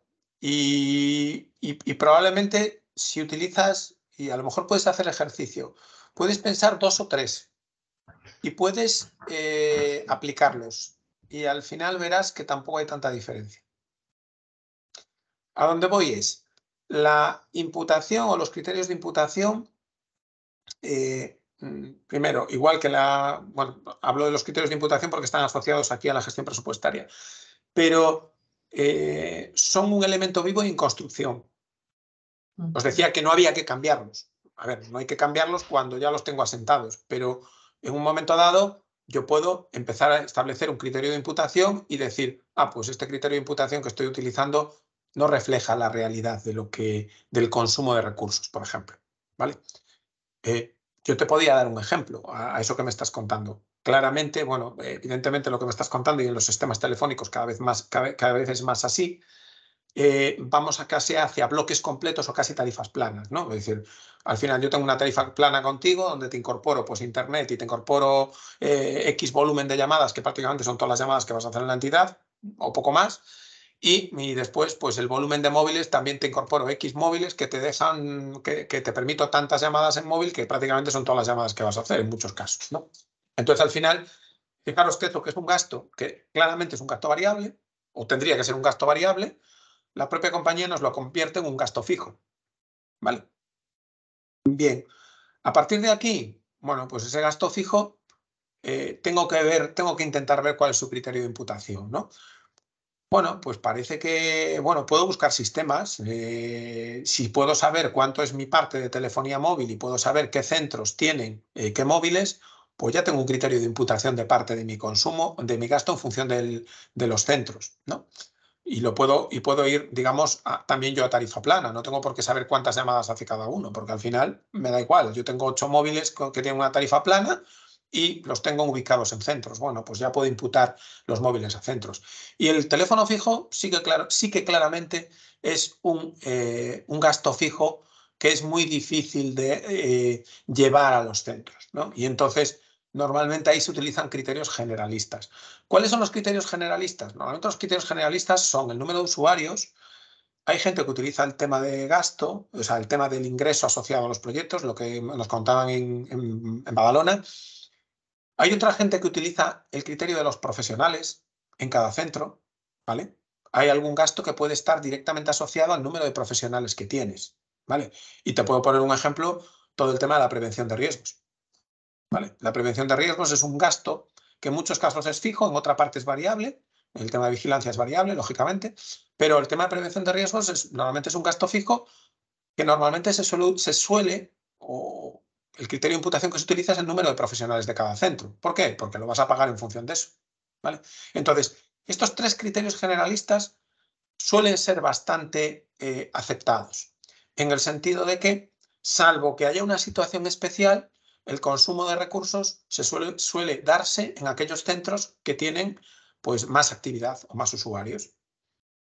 Puede haber un gasto concreto, una circunstancia concreta en la que eso no se cumpla. ¿Vale? Y entonces en ese gasto concreto no podré utilizar el criterio generalista y me iré de ese criterio generalista. ¿Vale? Pero en buena lógica, estos criterios suelen ser los que normalmente se utilizan.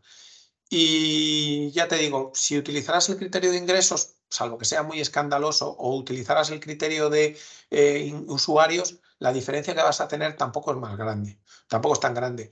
Y al final de lo que nos trata aquí, también en el uso de la información, ¿vale? También, también viene nuestro amigo Pareto de nuevo, en el sentido de lo que nos interesa es saber los grandes números de un centro. No nos interesa saber si el resultado ha sido 125 o 132. Es decir, a nosotros como, como personas, o sea, como elementos que tenemos que tomar decisiones, eso no nos va a cambiar una decisión. Sí me va a cambiar una decisión que un centro esté en más 10.000 o en menos 20.000. Eso sí que me cambia una decisión y eso sí que me, me motiva a hacer cosas. Pero que me dé 6.500 o 7.500 no creo que te lleve o nos lleve a mover cosas. ¿no? Pues a veces las, los criterios analíticos nos llevan a, a, situaciones de este estilo. ¿vale? Entonces, tenemos que tenerlos, tenemos que mejorarlos, pero tampoco nos tienen que agobiar en el sentido de, a ver si estoy utilizando un criterio analítico y hago un descalabro aquí. Pues, pues no suele pasar eso. No suele pasar. ¿vale? Al final esto es sentido común.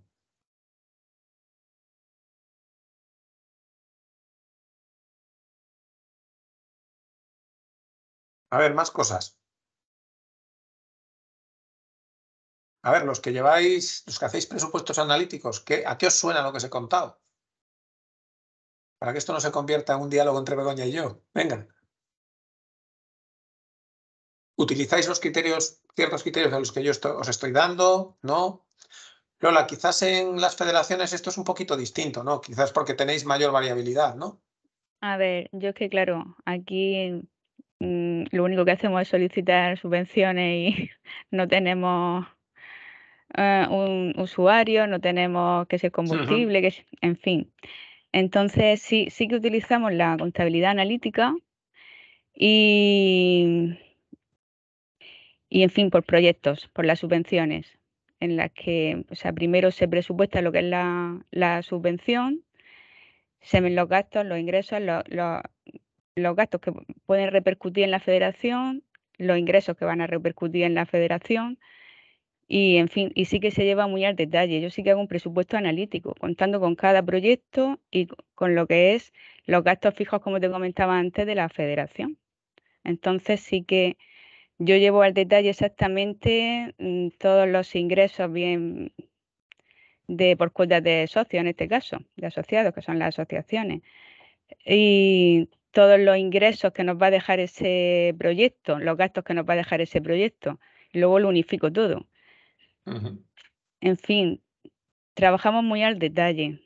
Y primero ese proyecto, pues con el técnico, los, en fin, qué gastos de personal.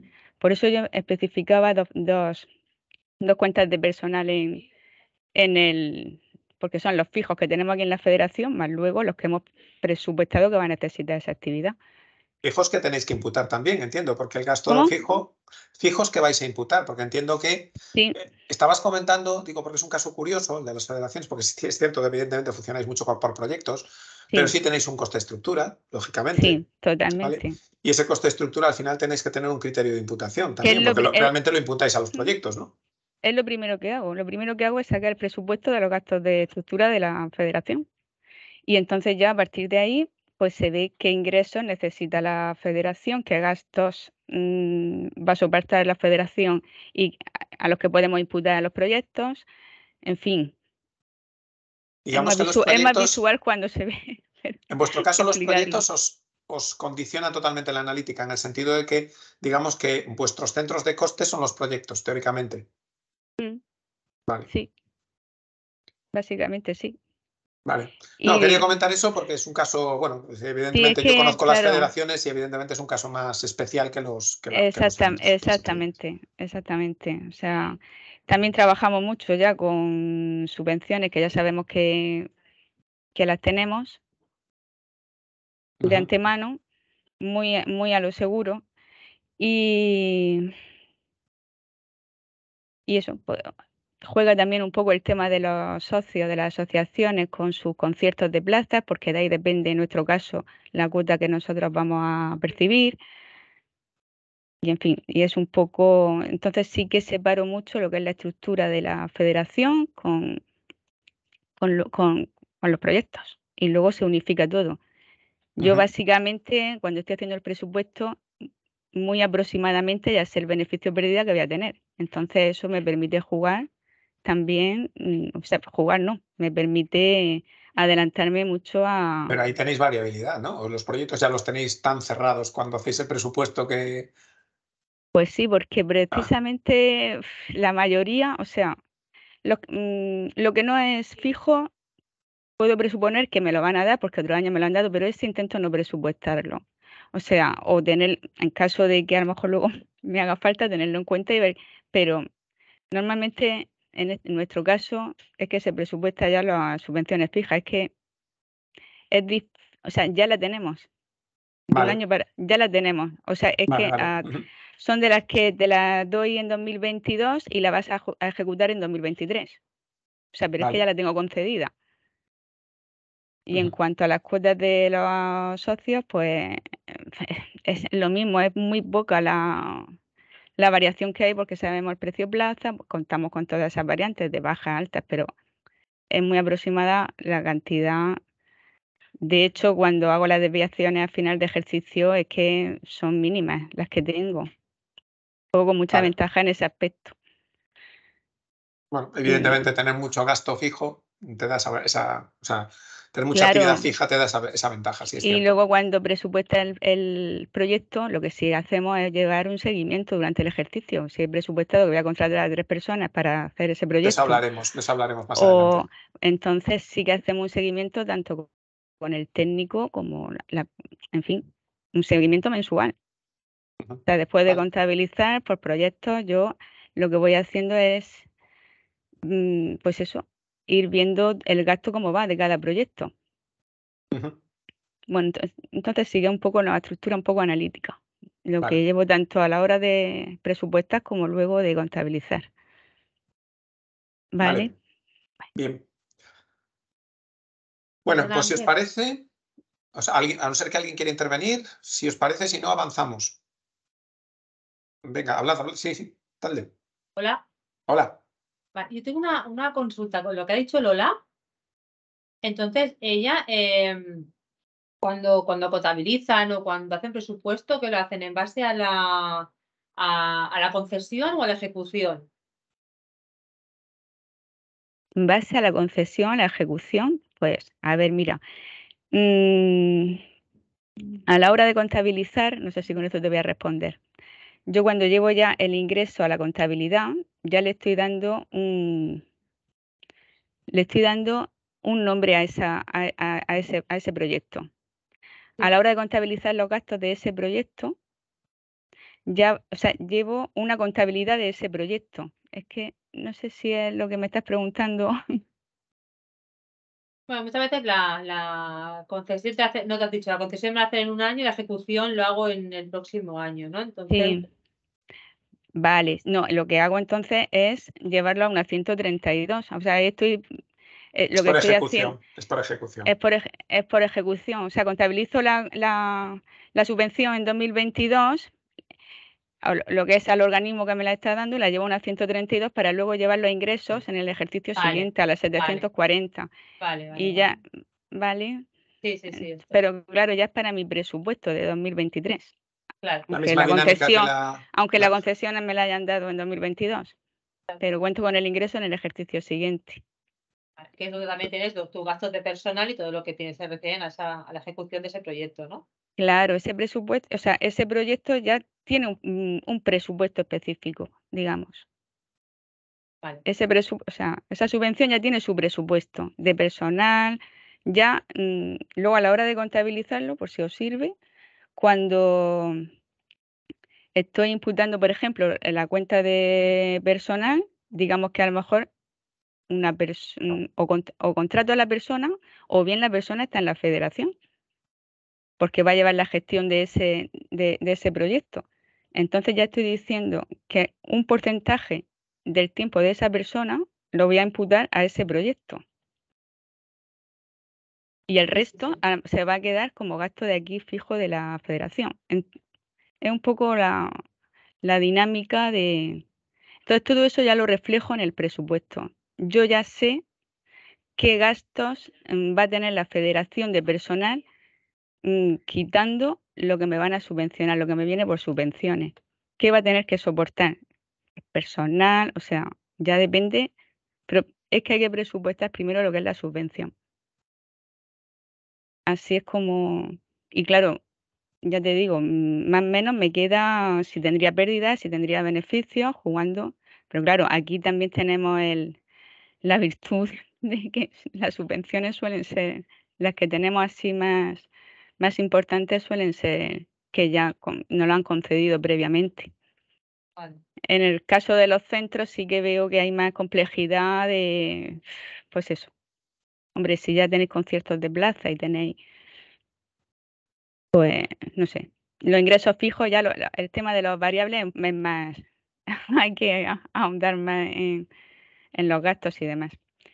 Claro, nosotros también tenemos concierto de, tenemos un concierto en el centro ocupacional no, no, nos abonan por plazas concertadas, pueden ser, pueden ser muy variables según el absentismo que tiene el personal, o sea, los usuarios del centro. Entonces, claro, mm. fijo, fijo cada mes o cada año, pues igual no va a ser, ¿no? Es un poco según el absentismo que, se tiene. Entonces hacemos una estimación, en el presupuesto hacemos una estimación de, ingreso fijo, pero luego, mm. una estimación de lo que puede llegar a pasar. O sea, con una con un absentismo a lo mejor de un 3% o de X personas. Entonces así ya lo presupuestamos. No sé si ha servido. Pues gracias, sí, sí. Lo hacemos igual, lo hacemos igual. Sí, sí, sí, sí, básicamente. Ya es Ángel que nos tiene que ir dando todas las... Bueno, Vale, pues vamos a la última parte, que llegamos un poco peladillos. Os voy a pedir diez minutitos más, porque si no, no me da tiempo a explicaros el ejercicio. A ver, eh, tenéis colgada en la web dos enunciados. Vamos a hacer un, ejercicio que va a ser incremental, ¿vale? Es decir, vamos a empezar, eh, vamos a empezar primero, el primer texto que tenéis, que lo voy a visualizar ahora, es una introducción, que básicamente es explicar lo que es la estructura de la entidad con la que vamos a trabajar, ¿vale? Y un poco en cierta medida os voy a contar cuál es su estructura analítica. Bien. La segunda parte, que ya también la tenéis, porque ya es lo primero que vamos a tener que hacer, es elaborar su presupuesto de ingresos. ¿Vale? Entonces, para ello os, doy, os he dado una segunda parte que, termina, es otro documento que termina en ingresos, ¿vale? Que es el documento que realmente vais a tener que utilizar para, para hacer la práctica, ¿vale? Y os di, o también os subí el modelo presupuestario con el que vamos a trabajar, ¿vale? Que es una Excel. ¿vale? Esa Excel, en principio, mi idea mm, porque esto es un taller, tampoco tenemos mm, demasiado tiempo para poder eh, entrar al detalle. Os voy a dar toda la información prácticamente de esa Excel, os la doy en el enunciado, simplemente básicamente tenéis que incorporarla al, eh, a la Excel en sus casillas. No vais a tener que hacer ni enlaces de hojas con hojas porque ya están enlazadas, ni vais a tener que hacer ninguna... O sea, lo que no quiero es que entréis en el mecanismo de la Excel, simplemente quiero que la, la Excel es un modelo que está ya enlazado y encajado, simplemente es que, veamos los datos que tenemos que, incorporar y que los incorporemos en las casillas que nos correspondan, simplemente. ¿Vale? Entonces, os enseño un poquito eh, el modelo, ¿vale? Y como os dije antes, no es un modelo que tenga una resolución única. Yo os voy a dar un, enunciado donde vosotros vais a tener que interpretar, ¿vale? Y tenéis que incorporar al modelo. Eh, mm, yo os diría que, mm, en cierta medida, hagáis un trabajo en paralelo, en el sentido de que hagáis el ejercicio tal cual os lo traslado yo y que al mismo tiempo estéis pensando si lo que yo os, os doy os vale para vuestra entidad. ¿Vale? porque a lo mejor, bueno, pues está ahí, ya os puede valer. O sea, podéis coger el modelo, adaptarlo y hacerle cosas y también os puede valer. Entonces, digo, simplemente eh, que bueno, que lo veáis con esa doble, doble mirada. Los que ya tengáis un presupuesto pues muy elaborado, ya tengáis una metodología y unos modelos muy elaborados, pues probablemente ya lo que yo os, valga, pues nos valdrá para, para aprender y ejercitar algún tipo de, de, presupuestación, pero igual los modelos no os valen para lo que ya estáis haciendo, ¿vale? Entonces, vamos a, voy a compartir con vosotros otra vez la pantalla y os voy a enseñar los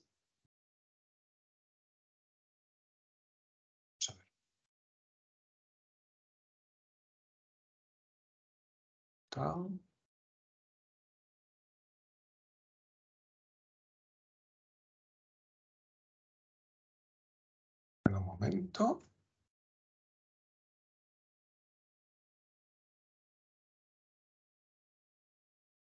Aquí están. Bueno, a ver, A ver, lo que vamos a hacer es esto. Vamos a tener una, asociación que se llama Más Capacitados, desarrolla su actividad en la provincia de Teruel, se me ocurrió ahí, eh, a través de diversas actividades en pro del colectivo de discapacidad intelectual. Bueno, ahí se me acabó. Y entre ellas se ocupa de proporcionar atención a las mismas a través de los siguientes dispositivos, ¿vale?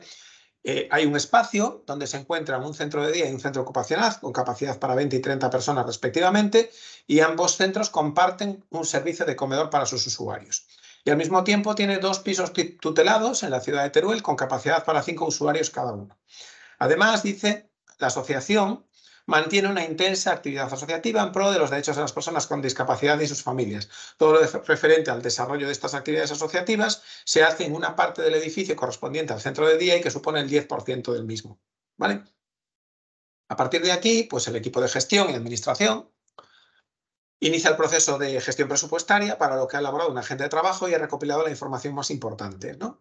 A partir de aquí dice que no se prevén a priori grandes cambios en las actividades a desarrollar y sí que existe una preocupación por la escalada de los precios y los salarios que la administración no tiene, eh, ya que la administración no tiene previsto subir el importe de los contratos, lo que plantea dudas respecto a la situación económica de la entidad y la posibilidad de tener que buscar soluciones para financiar los gastos.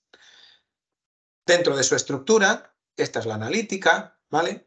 La asociación se organiza en cuatro centros de coste, centro ocupacional, centro asistencial, pisos y asociación los gastos de estructura y administración, la asociación no, opta por tener un centro de coste independiente, sino que lo que hace es imputarlos a los correspondientes centros de, eh, centros de coste en función de diversos criterios. Usuarios, metros cuadrados de ocupación, profesionales. Bueno, iréis viendo que cada gasto pues, va a utilizar un criterio distinto. En una primera toma de contacto con los responsables de los diferentes centros para detectar las necesidades de los mismos, pues el responsable del centro de día ha planteado consolidar el puesto de monitor a media jornada que tiene en estos momentos con una subvención de garantía juvenil que finalizará en octubre y la necesidad de pintar una gran parte del edificio debido al deterioro por uso. Mientras que el responsable del centro ocupacional plantea la incorporación de un monitor a jornada completa para poder diversificar los talleres y ofrecer nuevas actividades. Asimismo, la asociación se propone dinamizar el colectivo a través de la organización de diferentes eventos, aprovechando determinada financiación pública y privada. ¿vale? Bien, eh, una vez iniciado el proceso de gestión, se dispone de la siguiente información con la que realizamos el presupuesto de la entidad.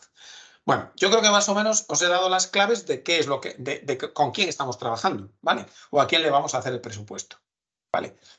Entonces, como veis, es una asociación que tiene cuatro centros de coste y donde el gasto de estructura se reparte, ¿vale? Donde eh, bueno, pues en ese proceso de gestión pues aparecen una serie de novedades que vamos a tener que incorporar en la elaboración de nuestro presupuesto. ¿vale? Y a partir de ahí, pues mm, bueno, pues con los mimbres que tenemos y una vez que os lo leáis esto con calma para ubicaros ya definitivamente, pues a partir de aquí lo que hacemos es empezar a presupuestar. ¿vale? ¿Y con qué empezamos a presupuestar? Bueno, pues os enseño el modelo de ejecución presupuestaria.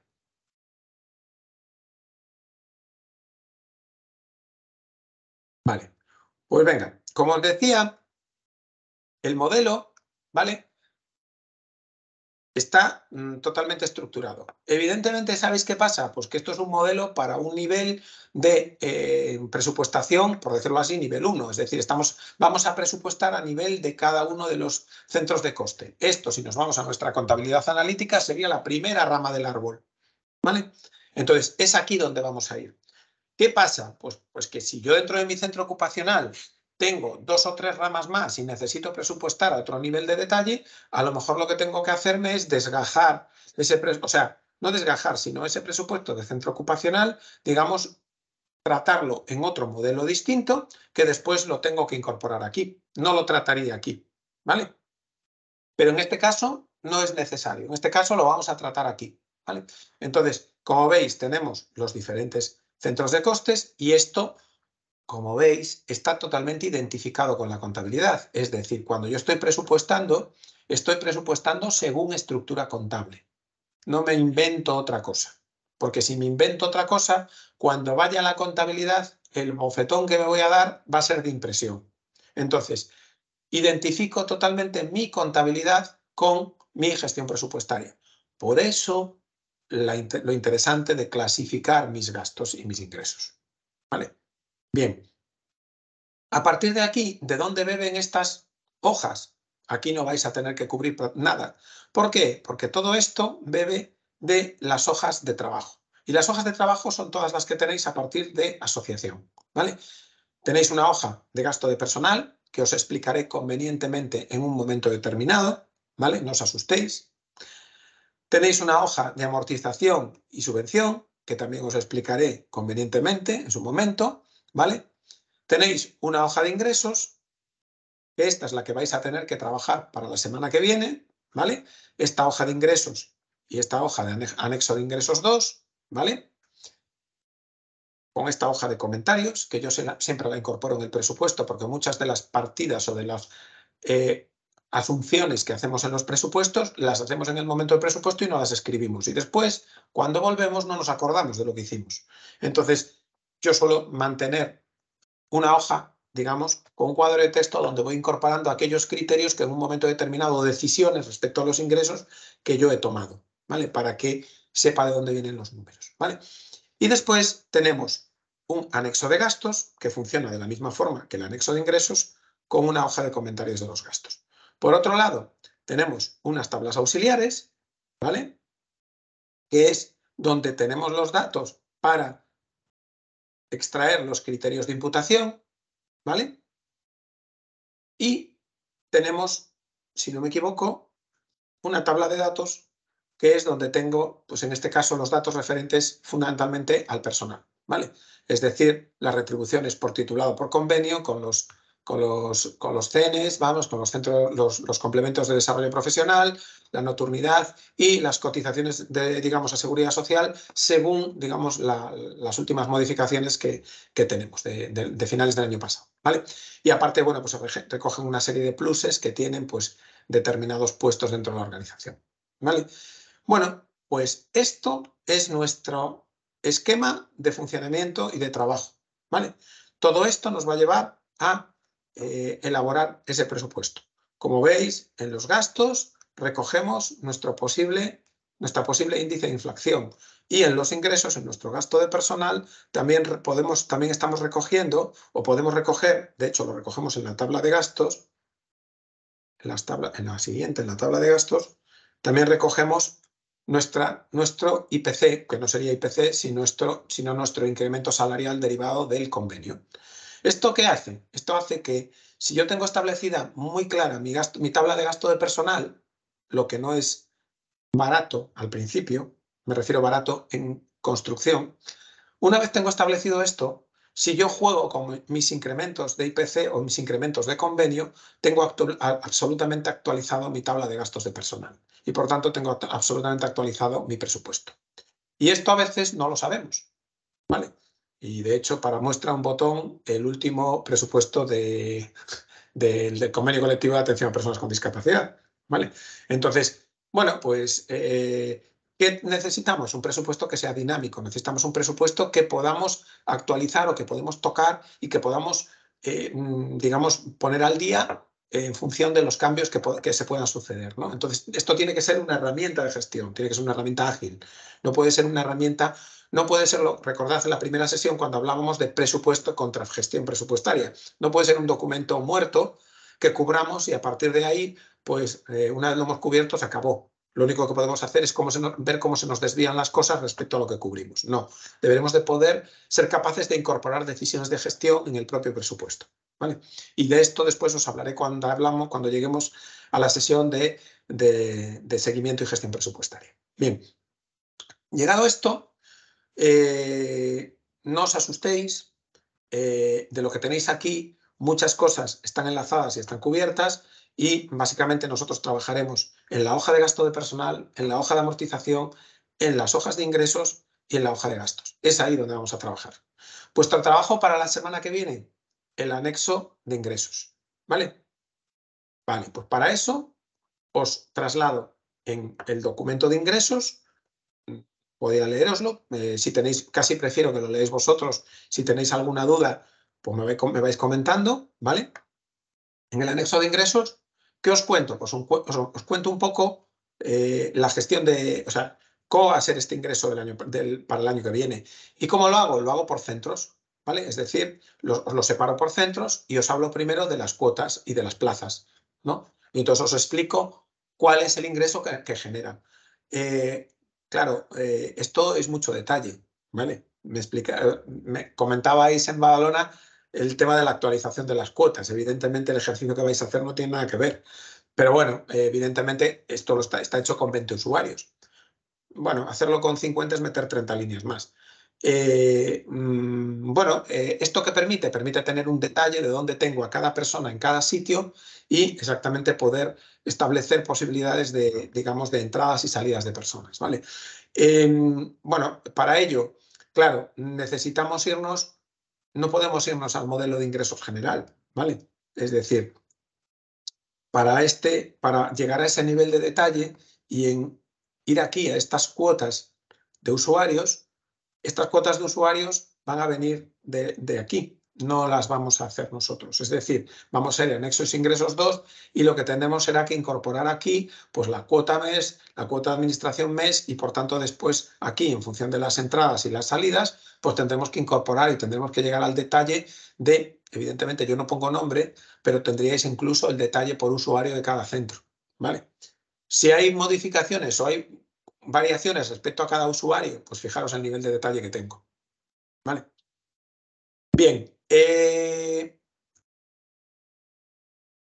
a partir de aquí, pues las cuotas de usuario, hay una cuota de transporte que paga la administración y que es así que se recoge directamente en, el anexo de ingresos y bueno, pues tenéis otra parte de, los ingresos por ventas y prestaciones en el centro ocupacional y de otro resto, resto de ingresos, ¿vale?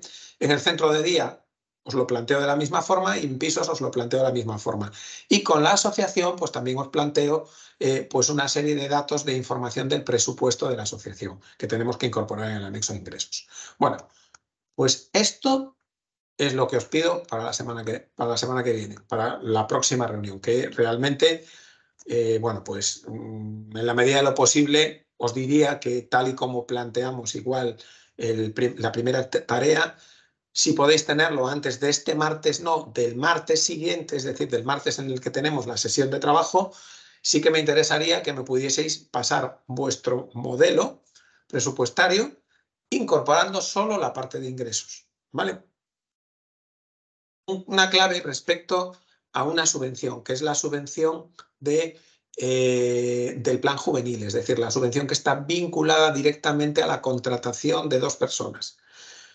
Como os dije, como está vinculada a la contratación de dos personas, esa subvención no la voy a calcular yo en la tabla de ingresos, sino que me va a venir, me la, se me va a volcar cuando calcule el gasto de personal asociado. ¿Vale? Entonces, veréis que esa subvención del plan de empleo juvenil, eh, cuando vayáis allí, tiene una fórmula que viene de los gastos. ¿Vale? Entonces, esa subvención, aunque en el caso de presupuestación os, la, os lo explico, os la comento, no vais a tener que hacer nada con ella, simplemente que la tengáis en cuenta y vamos a tener que estar atentos cuando hagamos el gasto de personal. ¿Vale? Bien, respecto a esto, comentarios, dudas, insultos, lo que queráis. ¿Se entiende lo que vamos a hacer? Eh, ¿Cómo lo veis? ¿Me he pasado o no me he pasado?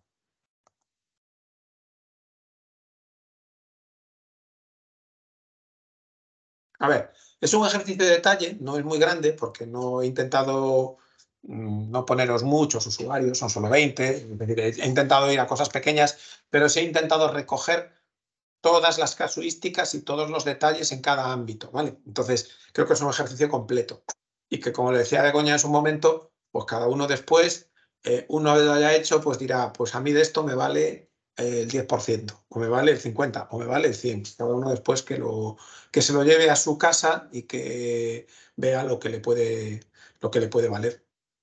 ¿Vale? ¿Se ha entendido lo que hay que hacer? Sí. Solo la hoja, las dos hojas de ingresos, anexo ingresos, anexo ingresos 1, y lo hacéis directamente en el modelo. En las siguientes sesiones lo que vamos a es, es a ir incrementando el modelo, es decir, lo que una vez tengáis ese modelo de presupuesto de ingresos, cuando hablemos del gasto de personal vais a tener que hacer vuestro gasto de personal, ¿vale? Entonces, no haréis uno nuevo, lo incorporaréis al presupuesto que tenéis, ¿vale? Iremos construyendo el presupuesto de manera que al final tengamos el documento cerrado. ¿Vale? ¿Alguna duda, alguna cuestión? ¿Alguna cosa que... ¿Dudas? Preferiblemente, pues utilicemos el chat, ¿vale? Porque así las dudas las vemos todos. Eh, en cualquier caso, los que no hayáis podido acceder al chat o lo que sea, eh, y tengáis alguna duda de respecto a cómo trabajar este tema, sin problema, me mandáis un correo e intentaré contestaros, ¿vale? Eh, mm, y bueno, espero que realmente pues, os sirva de utilidad y, y os valga para hacer el ejercicio de, gestión presupuestaria. ¿Vale? Bueno, pues nada más. Entonces, hasta aquí hemos llegado. Espero que haya sido menos aburrido que en las sesiones anteriores. Es que sí. a mí, a mí me, viene un dilema. Yo, con esto me, hago, me he hecho un... Sí, perdón, que se cortó, ¿no se oye? No, Ángel, yo creo que son mis compañeros, porque he abierto el micro para despedirme y creo que se oyen mis compañeros de fondo que están en otras reuniones. Ah, vale, creo vale. que no, ha sido que era alguien que estaba hablando. Vale, vale. Creo que ha sido eso. Todos lo tenéis claro, ¿no? Al menos hoy. Exacto, ahora cuando nos pongamos. Sí, ahora cuando nos pongamos ya surgirán las dudas. Venga, no, sí, es bueno que salgan dudas. Es bueno, es la forma de aprender. En, esta, en estas cosas solo se aprende haciendo, no hay otra forma de aprender. Vale. Por eso estamos aquí. Pues venga, ánimo con ello y bueno, eh, eso, intentad pasarme el ejercicio antes del, martes, de este martes que viene, no, del siguiente, ¿vale? Mm. Para, bueno, para que en la siguiente reunión podamos comentar un poco las dificultades que, os, hayan surgido y cómo, cómo lo habéis abordado, ¿vale? Y después el caso práctico que tenéis de vuestra entidad, ¿vale? Que también sí que me interesa. Vale, venga, pues nada, buenas, buen fin de semana, buena semana que viene y nos vemos en la siguiente. Igualmente. Muchas gracias. Hasta luego, adiós. Chao. Hasta luego.